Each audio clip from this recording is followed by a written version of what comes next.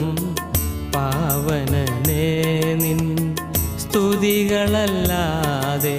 പാടൂ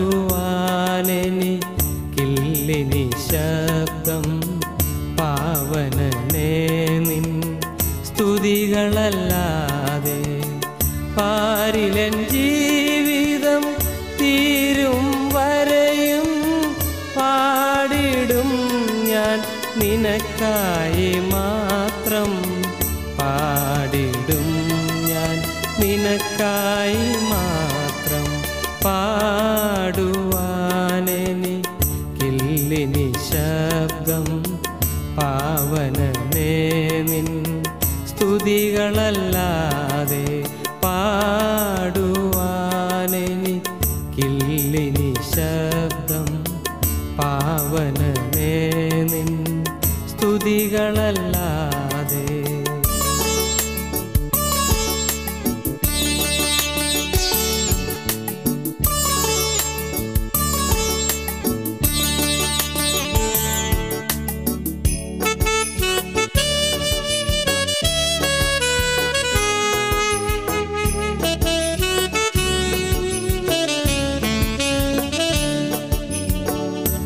ഒരു കണ്ണിനും ദയയില്ലാതെ ഞാൻ നിരാശയിനടിത്തട്ടിലമ്മ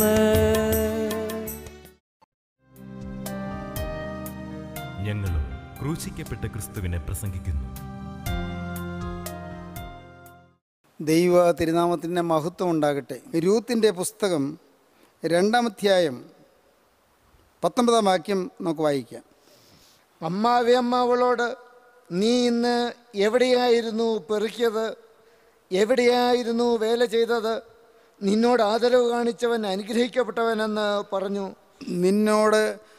ആദരവ് കാണിച്ചവൻ അനുഗ്രഹിക്കപ്പെട്ടവൻ എന്ന് പറഞ്ഞു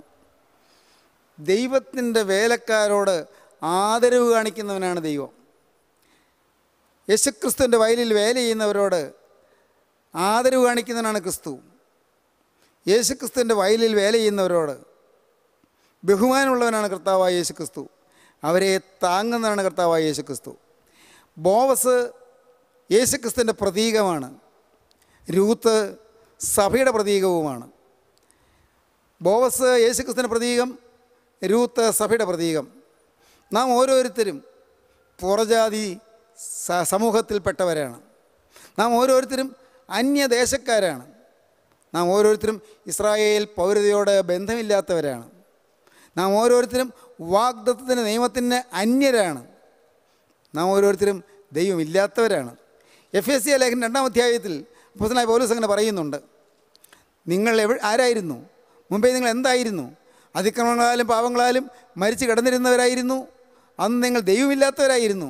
നിങ്ങൾ ഭൂമിയിൽ ദൈവമില്ലാത്തവരായിരുന്നെന്ന് ഓർത്തുകൊള്ളുകയെന്നാണ് അപ്പോസ്തലൻ പറയുന്നത് നോക്കാം ഭാഗം വായിക്കാൻ രണ്ടാം അധ്യായം രണ്ടാം കണ്ണിക ആകയാൽ നിങ്ങൾ മുമ്പേ പ്രകൃതിയാൽ ജാതികളായിരുന്നു മുമ്പേ നിങ്ങൾ സ്വഭാവത്താൽ ജാതികളായിരുന്നു പ്രജാതികളെ പോലെയായിരുന്നു സുബോധമില്ലാത്തവരായിരുന്നു അന്യ വിഗ്രഹങ്ങളെ ആരാധിക്കുന്നവരായിരുന്നു സത്യദൈവത്തെ അറിയാത്തവരായിരുന്നു ആകയാൽ നിങ്ങൾ മുമ്പേ പ്രകൃതിയാൽ കോപത്തിന്റെ മക്കളായിരുന്നു ജാതികളായിരുന്നു ജഡത്തിൻ കയ്യാലുള്ള പരിച്ഛേദനേറ്റ് ജഡത്തിൽ കയ്യാലുള്ള പരിച്ഛേദനേറ്റ് പരിച്ഛേദനക്കാരെന്ന് പേരുള്ളവരാൽ പരിച്ഛേദനക്കാരെന്ന് പേരുള്ളവരാൽ അഗ്രചർമ്മക്കാരെന്ന് വിളിക്കപ്പെട്ടിരുന്നു യഹൂദന്മാരാൽ നിങ്ങൾ പുറജാതിക്കാരെന്ന് വിളിക്കപ്പെട്ടിരുന്നു അക്കാലത്ത് നിങ്ങൾ ക്രിസ്തുവിനെ കൂടാതെയുള്ളവരും അക്കാലത്ത് നിങ്ങൾ ക്രിസ്തുവിനെ കൂടാതെയുള്ളവരായിരുന്നു ഇസ്രായേൽ പൗരതയോട് സംബന്ധമില്ലാത്തവരും ഇസ്രായേൽ പൗരതയോട് സംബന്ധമില്ലാത്തവരായിരുന്നു വാഗ്ദത്തിന്റെ നിയമങ്ങൾക്ക് അന്യരും പ്രത്യാശയില്ലാത്തവരും ലോകത്തിൽ ദൈവമില്ലാത്തവരുമായിരുന്നു എന്ന് ഓർത്തുകൊള്ളുകയും വാഗ്ദത്തിന്റെ നിയമത്തിന് അന്യരും പ്രത്യാശയില്ലാത്തവരും ലോകത്തിൽ ദൈവമില്ലാത്തവരുമായിരുന്നെന്ന് ഓർത്തുകൊള്ളുവിൻ ആ കാലത്ത് നിങ്ങൾക്ക് ദൈവമില്ലായിരുന്നു ജാതികളെപ്പോലെ അന്ധതയിൽ നടന്നവരായിരുന്നു പുറജാതികളെപ്പോലെ സത്യദൈവത്തെ തിരിച്ചറിയാത്തവരായിരുന്നു അഗ്രധർമ്മികളെപ്പോലെ സാക്ഷാൽ നിത്യനായ ദൈവത്തെ മനസ്സിലാക്കാത്തവരായിരുന്നു പ്രിയപ്പെട്ടവരെ നാം ഓരോരുത്തരും ആയിരുന്നില്ലേ നമ്മിൽ പലരും ദൈവത്തെ അറിയാൻ വയ്യായിരുന്നു ഒരു ദൈവം ഉണ്ടെന്ന് അറിയാൻ വയ്യായിരുന്നു സ്വർഗമുണ്ടെന്നോ നരകമുണ്ടെന്നോ അറിയാൻ വയ്യായിരുന്നു ഒരു നിത്യതയുണ്ടോ എന്ന് ചിന്തിച്ചിട്ടില്ല ഇല്ലേ ചില നമസ്കാരങ്ങൾ ചൊല്ലിയും ചില ചടങ്ങുകൾ ആചരിച്ചും ചില അനുഷ്ഠാനങ്ങൾ മുഴുകിയും ചില അന്ധവിശ്വാസങ്ങൾ കുഴഞ്ഞും ചില അബദ്ധാചാരങ്ങൾ കുടുങ്ങിയും കടന്നിരുന്നൊരു കാലമില്ലയോ നമുക്ക് എന്നാൽ ദൈവത്തിന് സ്തോത്രം എഫ് എസ് ലേഖനത്തിലെ പ്രസ്തം അങ്ങനെയാണ് പറയുന്നത് കരുണാസമ്പന്നായ ദൈവമോ നമ്മെ സ്നേഹിച്ച മഹാസ്നേഹം നിമിത്തം കരുണാസമ്പന്നായ ദൈവമോ നമ്മെ സ്നേഹിച്ച മഹാസ്നേഹം നിമിത്തം അതിക്രമങ്ങളാൽ മരിച്ചവരായിരുന്ന നമ്മെ അതിക്രമങ്ങളാൽ മരിച്ചരായി അമ്മേ ക്രിസ്തുവിനോടുകൂടെ ജീവിപ്പിക്കുകയും ക്രിസ്തുവിനോടുകൂടെ ജീവിപ്പിക്കുകയും കൃപയാലത്രേ നിങ്ങൾ രക്ഷിക്കപ്പെട്ടിരിക്കുന്നു കൃപയാലത്രേ നിങ്ങൾ രക്ഷിക്കപ്പെട്ടിരിക്കുന്നു ക്രിസ്തുയേശുവിൽ നമ്മെ കുറിച്ചുള്ള വാത്സല്യത്തിൽ ക്രിസ്തുയേശുവിൽ നമ്മെ കുറിച്ചുള്ള വാത്സല്യത്തിൽ തന്റെ കൃപയുടെ അത്യന്ത ധനത്തെ വരും കാലങ്ങളിൽ കാണിക്കേണ്ടത് തന്റെ കൃപയുടെ അത്യന്ത ധനത്തെ വരും കാലങ്ങളിൽ കാണിക്കേണ്ടതിന് ക്രിസ്തുയേശുവിൽ അവനോടുകൂടെ ഉയർത്തെഴുന്നേൽപ്പിച്ച് ക്രിസ്തു യേശുൽ യേശു ക്രിസ്തുവിനോട് ഉയർത്തെഴുന്നേൽപ്പിച്ച് സ്വർഗത്തിലിരുത്തുകയും സ്വർഗത്തിലിരുത്തുകയും ചെയ്തു അന്യജാതിക്കാരായിരുന്നു നമ്മെ ദൈവമില്ലാത്തവരായിരുന്നു നമ്മെ അവൻ കൊണ്ടുപോയി സ്വർഗത്തിലിരുത്തി ഭൂമിയിൽ ശരീരം ആത്മാവ് സ്വർഗത്തിൽ ഹലോഹിയ സ്വർഗീയ പൗരത്വം തന്നു സ്വർഗത്തിലിരുത്തുകയും ചെയ്തു വലിയ സ്നേഹം മകളെ നിന്നോട് ആദരവ് കാണിച്ചവൻ അനുഗ്രഹിക്കപ്പെട്ടവൻ ആദരവ് കാണിച്ചു ഈ വിലയില്ലാത്തവളോട് ആദരവ് കാണിച്ചു വിലയില്ലാത്തവൾ ദൈവത്തിന് അല്ലേ അങ്ങനെ ആയിരുന്നില്ലേ നാം വരെയുള്ളവരായിരുന്നു നോക്കിയാൽ ലജ്ജാകരമായ ജീവിതമല്ലായിരുന്നു നയിച്ചത് എത്ര ലജ്ജാകരമായിരുന്നു ചടങ്ങുകൾ ആചരിച്ച് അന്ധവിശ്വാസങ്ങൾ മുഴുകി അവധാചാരങ്ങൾ കുടുങ്ങി പ്രിയപ്പെട്ടവർ ചില മാമൂലുകളും ചില പരിചയങ്ങളും ചില പാരമ്പര്യങ്ങളും ഇങ്ങനെല്ലാമായി കുഴഞ്ഞു കൂടിയൊരു ജനം ആയിരുന്നില്ലേ ദൈവത്തിൻ്റെ സ്തോത്രം എന്നാൽ കരുണാസമ്പന്നായ ദൈവത്തിന് നമ്മോട് കരുണ തോന്നി കൃപയാലത്രേ നിങ്ങൾ രക്ഷിക്കപ്പെട്ടിരിക്കുന്നു അതിന് പ്രവൃത്തികൾ കാരണമല്ല കൃപയാൽ ദൈവത്തിന് സ്തോത്രം സഹോദരങ്ങളെ ഇവിടെ പറയുന്നത് എന്താണ് നിന്നോട് ആദരവ് കാണിച്ചവൻ അനുഗ്രഹിക്കപ്പെട്ടവൻ എങ്ങനെയാണ് എല്ലാമാണ് ആദരവ് കാണിച്ചത് ചില വാക്യങ്ങൾ വായിക്കാം രണ്ടാം അധ്യായം എട്ടാം വാക്യം മുതൽ വായിക്കാം ബോവസ്രൂത്തിനോട് കേട്ടോ മകളെ പെറുക്കുവാൻ വേറൊരു വയലിൽ പോകേണ്ട ഇവിടം വിടുകയും വേണ്ട ഇവിടെ എൻ്റെ ബാല്യക്കാറ്റുകളോട് ചേർന്ന് കൊള്ളുക അവർ കൊയ്യുന്ന നിലത്തിന്മേൽ ദൃഷ്ടി വെച്ച് അവരുടെ പിന്നാലെ പോയിക്കൊള്ളുക ബാല്യക്കാർ നിന്നെ തുടരുതെന്ന് ഞാൻ അവരോട് കൽപ്പിച്ചിട്ടുണ്ട് ബാല്യക്കാർ നിന്നെ തുടരുതെന്ന് ഞാൻ അവരോട് കൽപ്പിച്ചിട്ടുണ്ട് ബാല്യക്കാർ നിന്നെ തുടരുത് എന്ന് ഞാൻ പ്രത്യേകം നിർദ്ദേശിച്ചിട്ടുണ്ട് ആരും നിന്നെ ഉപദ്രവിക്കുകയില്ല നീ പാവം അതിനെ അന്യദേശത്ത് നിന്ന് വന്ന ഒരു പാവം പെൺകുട്ടിയുടെ പരിചയമില്ലാത്തവളാണ് വയലിൽ പരിചയമില്ല വേലയിൽ പരിചയമില്ല ഇവിടെ ഈ നാട്ടിൽ പരിചയമില്ല നീ ഒരു അന്യദേശക്കാരിയാണ് നീ മോവാഭ്യ പെൺകുട്ടിയാണ് എങ്കിലും എൻ്റെ ബാല്യക്കാരാരും നിന്നെ തുടരുത് എന്ന് നിന്നെ ഒരു ദോഷവും വരുത്തരുത് എന്ന് ഞാൻ പ്രത്യേകം കൽപ്പിച്ചിട്ടുണ്ട് ഈ ബോവസിൻ്റെ കരുതൽ ബോവസിന് ഈ രൂത്തിനെക്കുറിച്ചുള്ളതായ കരുതൽ ബോവസിൻ്റെ കരുതൽ നിനക്ക് നിന്നെ തുടരുതെന്ന് ഞാൻ കൽപ്പിച്ചിട്ടുണ്ട് അടുത്ത വാക്യം നിനക്ക് ദാഹിക്കുമ്പോൾ കരികെ ചെന്ന് ബാല്യക്കാർ കോരി വെച്ചതിൽ നിന്ന് കുടിച്ചു കൊള്ളുക എന്ന് പറഞ്ഞു നിനക്ക് മറ്റുള്ളവർ അധ്വാനിച്ചുണ്ടാക്കിയത് നിനക്ക് ഇഷ്ടം പോലെ കുടിക്കാം അവർ കോരി വെച്ചിട്ടുണ്ട് അതിൽ നീ കുടിച്ചുകൊള്ളൂ നിനക്ക് വെള്ളം കോരാൻ പോകാൻ അറിഞ്ഞുകൂടാ നിനക്കതിനുള്ള പരിചയമില്ല വെള്ളം കോരി വെച്ചിട്ടുണ്ട് എൻ്റെ ബാല്യക്കാർ കോരി വെച്ചതിൽ നീ കൊള്ളുക കരുതലാണ് വീണ്ടും കാണാം ദൈവത്തിന് സ്തോത്രം പതിനഞ്ചാം വാക്യം അവൾ പെറുക്കുവാൻ എഴുന്നേറ്റപ്പോൾ ബോവസ് തൻ്റെ ബാല്യക്കാരോട് അവൾ കറ്റകളുടെ ഇടയിൽ തന്നെ പെറുക്കിക്കൊള്ളട്ടെ അവളെ ഉപദ്രവിക്കരുത് അവളെ ഉപദ്രവിക്കരുത് അവളെ തുടരുത് എന്ന് കൽപ്പിച്ചിട്ടുണ്ട് അവളെ ഉപദ്രവിക്കരുത് പെറുക്കേണ്ടതിന് അവൾക്കായിട്ട് കറ്റകളിൽ നിന്ന് വലിച്ചിട്ടേക്കണം അവൾക്ക് കതിര് പെറുക്കുവാനായി കറ്റകളിൽ നിന്ന് ഇടയ്ക്കിടയ്ക്ക് കതിര് പറിച്ചിട്ട് കൊടുത്തേക്കണം അവളെ ശകാരിക്കരുത് അവളെ ഉപദ്രവിക്കരുത് അവളെ ശകാരിക്കരുത് അവളെ തുടരുത് ദൈവത്തിന് സ്തോത്രം പ്രത്യേകം പ്രത്യേകം നിർദ്ദേശം കൊടുക്കുകയാണ് ഇവളെക്കുറിച്ചുള്ള ബോവസിൻ്റെ കരുതൽ ഇവൾ അന്യജാതിക്കാരിയാണ് അന്യദേശക്കാരിയാണ് എന്നാൽ അവളെക്കുറിച്ച് ബോവസിനെ പ്രത്യേക കരുതൽ അവളെ തുടരുത് അവളെ ഉപദ്രവിക്കരുത് അവളെ ശകാരിക്കരുത് ദൈവത്തിന് സ്തോത്രം നമുക്ക് വായിക്കാം രണ്ടാം അധ്യായത്തിൻ്റെ ഇരുപത്തിരണ്ടാം വാക്യം നവോമി തൻ്റെ മരുമകളായ രൂത്തിനോട് മകളെ വേറൊരു വയലിൽ വെച്ച് ആരും നിന്നെ ഉപദ്രവിക്കാതിരിക്കേണ്ടതിന് നീ അവൻ്റെ ബാല്യക്കാരത്തികളോട് തന്നെ പോകുന്നത് നന്ന് എന്ന് പറഞ്ഞു മകളെ വേറൊരു വയലിൽ വെച്ച് ആരും നിന്നെ ഉപദ്രവിക്കാതിരിക്കേണ്ടതിന് നീ അവൻ്റെ ബാല്യക്കാരത്തികളോട് കൂടെ തന്നെ പോകുന്നത് നന്ന് എന്ന് പറഞ്ഞു വേറെ ആരും നിന്നെ ഉപദ്രവിക്കാതിരിക്കാൻ അവിടെ തന്നെ നീ ഉറച്ചു നിന്നുകൊള്ളൂ ദൈവത്തിന് സ്തോത്രം എന്തോ ഒരു കരുതൽ ബോവസിൻ്റെ കരുതൽ കർത്താവിൻ്റെ വേല ചെയ്യാൻ വരുമ്പെട്ടാൽ നമുക്ക് വേണ്ടി കരുതുന്ന യേശു നമ്മെ തൊടാതെ കാത്തുകൊള്ളും ആരും ഉപദ്രവിക്കാതെ കാത്തുകൊള്ളും പകൽ പറക്കുന്ന അസ്ത്രത്തെയും ഉച്ച തോന്നുന്ന കാറ്റിനെയും രാത്രി സഞ്ചരിക്കുന്ന വചനത്തെയും നീ പേടിക്കേണ്ട പകൽ പറക്കുന്ന അസ്ത്രത്തെയും ഉച്ചയിൽ തോന്നുന്ന കാറ്റിനെയും രാത്രിയിൽ സഞ്ചരിക്കുന്ന വചനത്തെയും നീ പേടിക്കേണ്ട പകൽ സൂര്യനെങ്കിലും രാത്രി ചന്ദ്രനെങ്കിലും നിന്നെ ബാധിക്കുകയില്ല ഒരു സൂര്യദശയും ആദിത്യദശയും നിന്നെ സ്പർശിക്കുകയില്ല ഒരു രാഹുർദശയും നിന്നെ തൊടുകയില്ല ഒരു ദശാന്തി ദോഷവും നിന്നെ ബാധിക്കുകയില്ല ദൈവത്തിന് സ്തോത്രം ഒരു കേതുർദശയും നിന്നെ തൊടുകയില്ല ദൈവത്തിന് സ്തോത്രം നിൻ്റെ ജീവിതത്തിൽ ശരി ദശാന്തിനെ സ്പർശിക്കുകയില്ല ഏതെല്ലാം ദശാന്തിങ്ങൾ വന്നാലും ഒന്നും നിന്നെ തൊടുകയില്ല ഏത് എത്ര ഭീകരമായ ശാപഗ്രസ്തമായ സ്ഥലത്ത് കിടക്കേണ്ടി വന്നാലും ഒരു ദോഷം നിനക്ക് ഭവിക്കുകയില്ല എത്ര പൈശാചിക ഭൂതബാധയുള്ള ഭവനമാണെന്ന് ആളുകൾ പറഞ്ഞാലും നീ പേടിക്കേണ്ട ദൈവത്തിന് സ്തോത്രം ആരെല്ലാം നിനക്ക് കൈവശം തന്നാലും ഒന്നും നിന്നെ തൊടുകയില്ല കൈവശം ദഹിച്ചു പോകും ആരെല്ലാം നിനക്കെതിരെ മന്ത്രവാദം ചെയ്താലും ഒന്നും നിന്നെ സ്പർശിക്കുകയില്ല നിനക്കെതിരെ രാഹുകാലത്തിന് ഒന്നും ചെയ്യാൻ സാധിക്കുകയില്ല നിനക്കെതിരെ മുഹൂർത്തത്തിനോ ശൗനത്തിനോ ഒന്നും ചെയ്യാൻ സാധിക്കുകയില്ല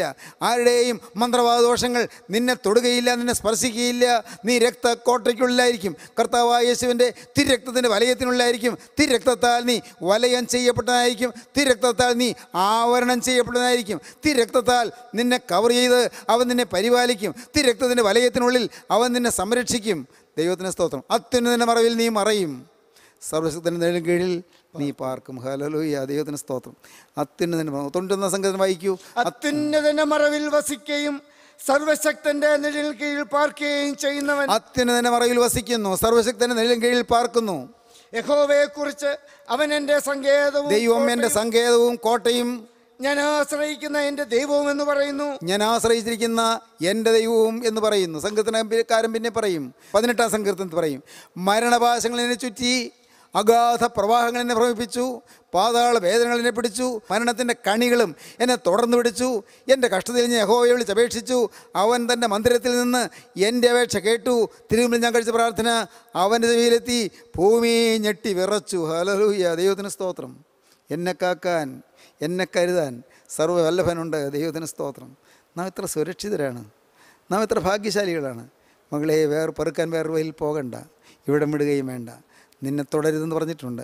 നിന്നെ ഉപദ്രവിക്കരുതെന്ന് പറഞ്ഞിട്ടുണ്ട് നിന്നെ ശകാരിക്കരുതെന്ന് പറഞ്ഞിട്ടുണ്ട് നിന്നെ കുടിക്കാൻ തന്നുകൊള്ളണമെന്ന് പറഞ്ഞിട്ടുണ്ട് നിനക്ക് വേണ്ടി കോരി വെച്ചുകൊള്ളണമെന്ന് പറഞ്ഞിട്ടുണ്ട് നിൻ്റെ കാര്യം പ്രത്യേകം അന്വേഷിച്ചുകൊള്ളണമെന്ന് പറഞ്ഞിട്ടുണ്ട് നിന്നെ സഹായിച്ചുകൊള്ളണമെന്ന് പറഞ്ഞിട്ടുണ്ട് നിനക്ക് വേണ്ടി കതിര് ഊർത്തി ഊർത്തി ഇട്ട് കൊടുക്കണമെന്ന് പറഞ്ഞിട്ടുണ്ട് എല്ലാം നിനക്ക് വേണ്ടി ഞാൻ കരുതിയിട്ടുണ്ട് ദൈവത്തിന് സ്തോത്രം കരുതും ദൈവം കാക്കും ദൈവം സ്തോത്രം അവങ്കിലേക്ക് നോക്കിയ പ്രകാശിതരായി അവരുടെ മുഖം ലജ്ജിച്ചു പോയതുമില്ല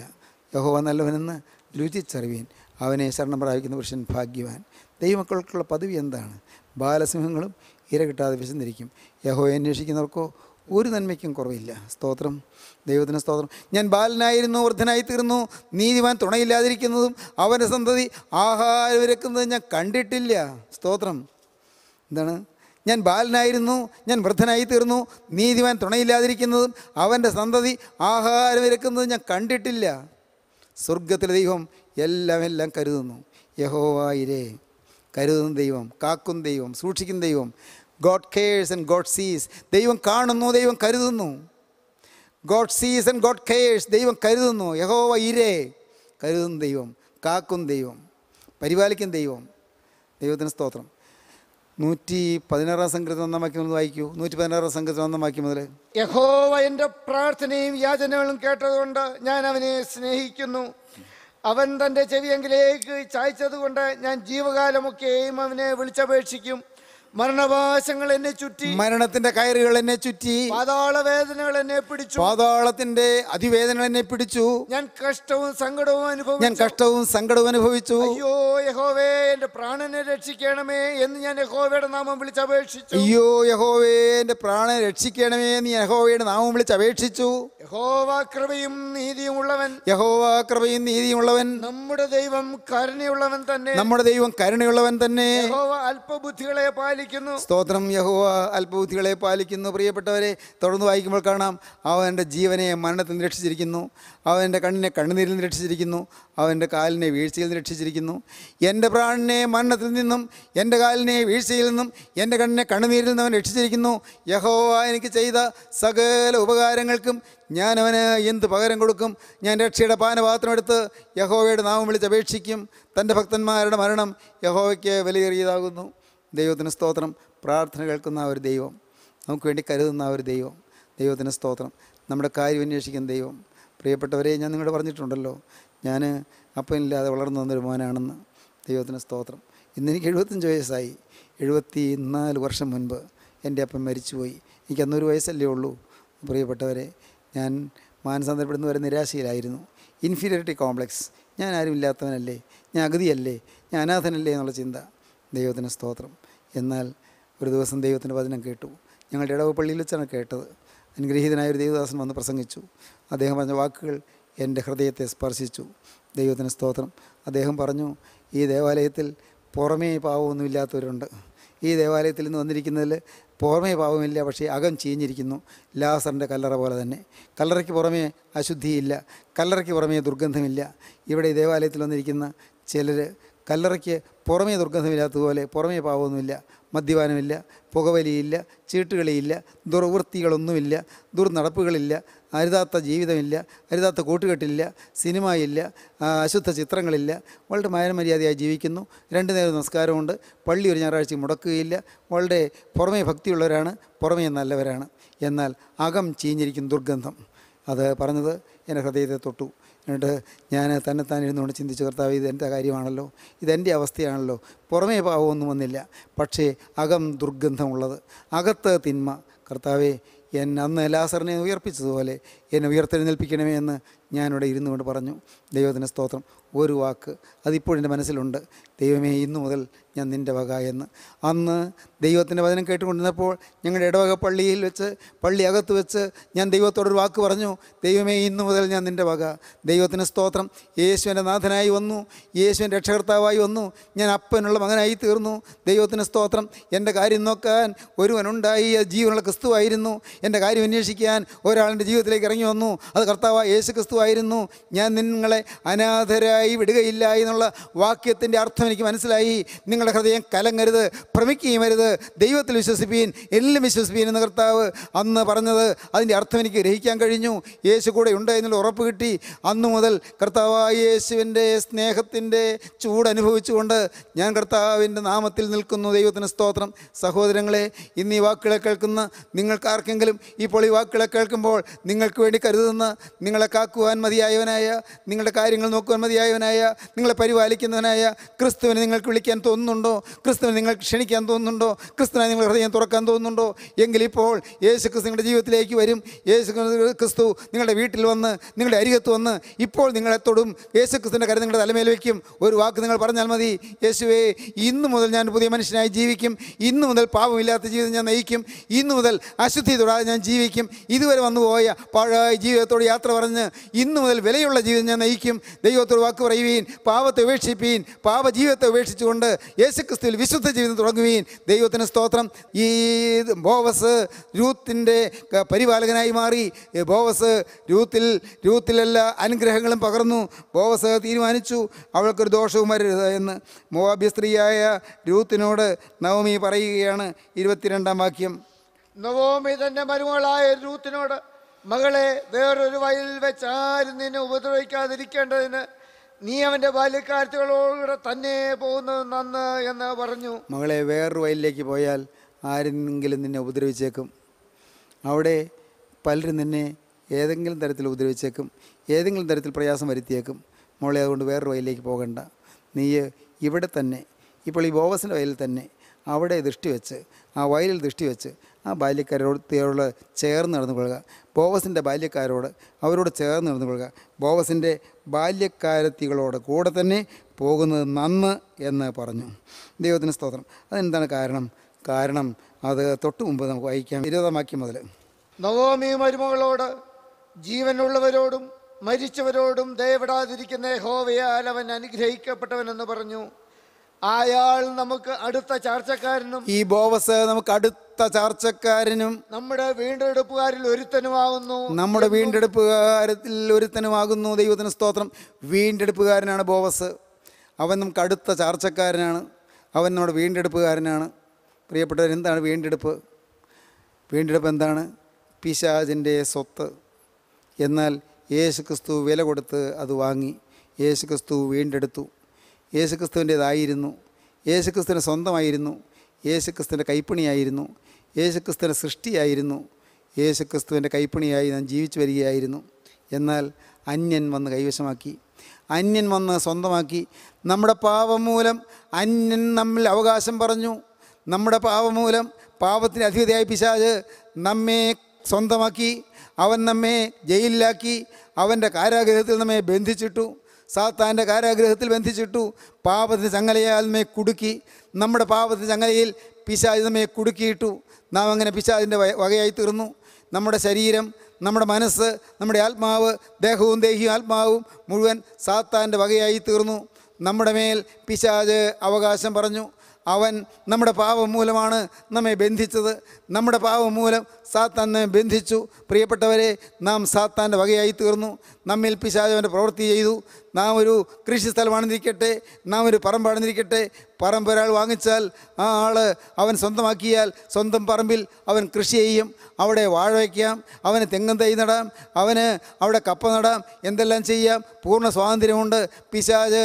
എൻ്റെ പാപം മൂലം എന്നെ സ്വന്തമാക്കിയപ്പോൾ അവൻ എന്നിൽ അവൻ്റെ അവൻ്റെ പ്രവൃത്തികൾ ചെയ്തു അവൻ എന്നിൽ കൃഷി ചെയ്തു എന്തെല്ലാം കൃഷിയുടെ ഫലങ്ങൾ എന്തെല്ലാമായിരുന്നു ഗലാത്തി ലേഖനം അഞ്ചാം അധ്യായം പത്തൊമ്പതാം വാക്യം പിശാജിൻ്റെ വകയായിരുന്നപ്പോൾ എന്നിൽ നടന്ന കൃഷിയുണ്ട് അവൻ എന്തെല്ലാം ഫലങ്ങൾ ഉൽപ്പാദിപ്പിച്ചു ഗലാത്തി ലേഖനം അഞ്ചാമത്തെ എൺപത്തൊമ്പതാം വാക്യം ജഡത്തിന്റെ പ്രവൃത്തികളോ ദുർനടപ്പ് ദുർനടപ്പ് കൊയ്തു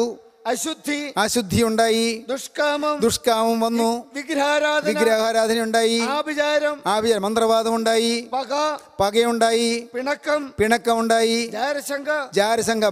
സ്വന്തം ഭാര്യ അല്ലെങ്കിൽ ഭർത്താവ് അന്യജടത്തിലേക്ക് മോഹിച്ചു എന്ന് വെറുതെ സംശയം തോന്നുന്നു ജാരശങ്ക ഉണ്ടായി ക്രോധം ക്രോധമുണ്ടായി ശാഠ്യം ശാഠ്യമുണ്ടായി ദ്വന്ദ്വപക്ഷം രണ്ട് പക്ഷമുണ്ടായി ഭിന്നത ഭിന്നതയുണ്ടായി അസൂയ അസൂയുണ്ടായി മദ്യപാനം ഉണ്ടായി വെറിക്കൂത്ത് വെറിക്കൂത്ത് വെറിക്കൂത്ത് വെറിക്കൂത്ത് ദുർനടപടികൾ വെറിക്കൂത്ത് ചീട്ടുകളി ഗാംബ്ലിങ്സ് വിവിധങ്ങളായ വെറിക്കൂത്തുകൾ സിനിമ മ്ലേച്ഛചിത്രങ്ങൾ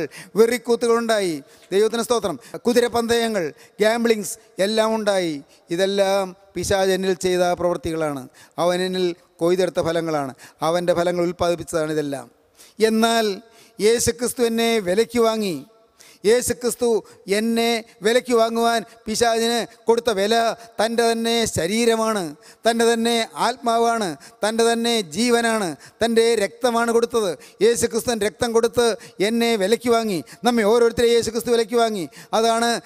പത്രോസ്ലിഹ എഴുതിയ ഒന്നാമത്തെ ലേഖനം ഒന്നാം അധ്യായം പതിനേഴാം വാക്യത്തിൽ പറയുന്നത് പത്രോസ്ലിഹായുടെ ഒന്നാമത്തെ ലേഖനം ഒന്നാം അധ്യായം പതിനേഴാം വാക്യം വ്യർത്ഥവും പിതൃപാരമ്പര്യവുമായ നിങ്ങളുടെ നടപ്പിൽ നിന്ന് വ്യർത്ഥവും പിതൃപാരമ്പര്യവുമായുള്ള മേലുള്ള നിങ്ങളുടെ നടപ്പിൽ നിന്ന് നിങ്ങളെ വീണ്ടെടുത്ത് നിങ്ങളെ വീണ്ടെടുത്തിരിക്കുന്നത് പൊന്ന് വെള്ളി മുതലായി അഴിഞ്ഞു പോകുന്ന വസ്തുക്കളെ പൊന്ന് വെള്ളി മുതലായി അഴിഞ്ഞു പോകുന്ന വസ്തുക്കളെ കൊണ്ടല്ല ക്രിസ്തു എന്ന ക്രിസ്തു എന്ന നിർദോഷവും നിഷ്കളങ്കവുമായ നിർദോഷവും നിഷ്കളങ്കവുമായ കുഞ്ഞാടിന്റെ വിലയേറിയ രക്തം കൊണ്ട് എന്ന് നിങ്ങൾ അറിയുന്നുവല്ലോ കുഞ്ഞാടിന്റെ വിലയേറിയ രക്തം കൊണ്ടത്രേ നിങ്ങൾ അറിയുന്നുവല്ലോ യേശു ക്രിസ്തുവിന്റെ വിലയേറിയ രക്തത്താൽ നമ്മെ അവൻ വിലയ്ക്ക് വാങ്ങി അവൻ കൊടുത്ത വില തൻ്റെ രക്തമാണ് യേശു ക്രിസ്തൻ്റെ രക്തം വിലയായിട്ട് കൊടുത്തു അങ്ങനെ യേശു കുരിശിൽ മരിച്ചു എന്നിട്ടോ എന്നെ നമ്മെ യേശു ക്രിസ്തു വിലയ്ക്ക് വാങ്ങി യേശു ക്രിസ്തു വിലയ്ക്ക് വാങ്ങിയാൽ യേശു ക്രിസ്തുവിന് കൃഷി ചെയ്യാമല്ലോ ഇത്രയും കാലം വേറൊരാൾ കൃഷി ചെയ്തിരുന്നു അവൻ ഫലം എടുത്തിരുന്നു ഇനി മുതൽ യേശുവിനെ വിലയ്ക്ക് വാങ്ങിയതുകൊണ്ട് യേശു കൃഷി തുടങ്ങി അപ്പോൾ പിന്നെ ഉണ്ടായ ഫലങ്ങൾ എന്തെല്ലാമാണ് ഗലാത്തിൽ അഞ്ചിൻ്റെ ഇരുപത്തിരണ്ട് ആത്മാവിൻ്റെ ഫലമോ സ്നേഹം സ്നേഹം കൊയ്യാൻ തുടങ്ങി സന്തോഷം സന്തോഷം ഫലം ഉണ്ടായി സമാധാനം സമാധാനം ഉണ്ടായി ഫലം ദീർഘക്ഷമ ദീർഘക്ഷമ ഉണ്ടായി ദയ ദയ പരോപകാരം വിശ്വസ്തത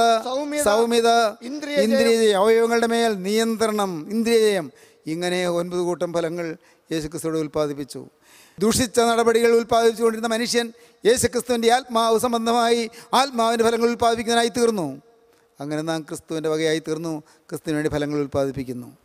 ഇതാണ് വീണ്ടെടുപ്പുകാരൻ ചെയ്തത് നമ്മെ അവൻ വീണ്ടെടുത്തു സ്നേഹിതരെ നിങ്ങൾക്ക് ഈ വീണ്ടെടുപ്പ് അനുഭവമായോ നിങ്ങൾ യേശുക്രിസ്തുവിൻ്റെ വകയായി തീർന്നോ യേശുക്രിസ്തുവാണോ നിങ്ങൾ കൃഷി ചെയ്യുന്നത്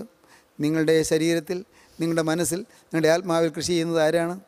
നിങ്ങളുടെ ആളത്വത്തിൽ ഇപ്പോൾ ഫലം പുറപ്പെടുവിക്കുന്നത് ആരാണ് ചിന്തിക്കൂ ഇപ്പോഴും കോപം വരുന്നുണ്ടോ